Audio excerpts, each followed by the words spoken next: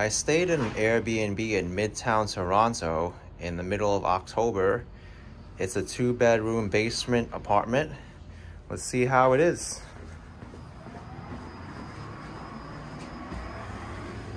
Already unlocked the door, put my luggage in here. Oh, looks comfy. The house rules are that they don't want anyone wearing shoes inside, so let's uh, check this place out. Wow. Really comfortable kitchen. Sofa, TV. I really like the natural light in here and the decor.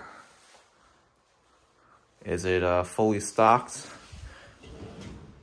Yes, looks like it.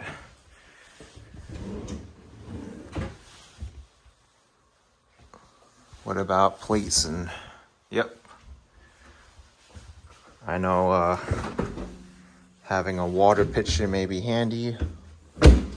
Oh, over there. Toaster, water pitcher, coffee machine, nice dining table.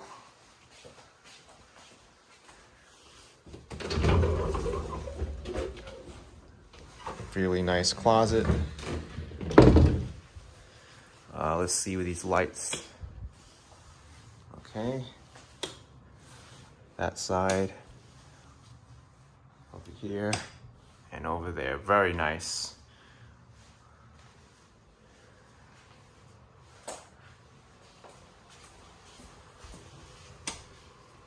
Okay, this is the restroom.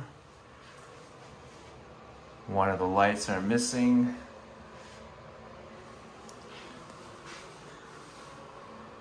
Very nice shower, clean bathtub, um, toilet,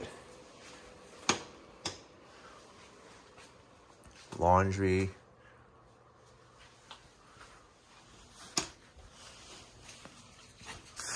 Oh, I'm not going to use this room.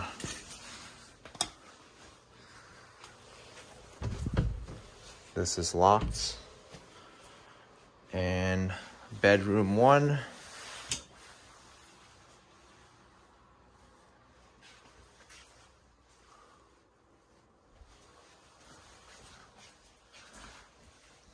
Beautiful closet, some pillows.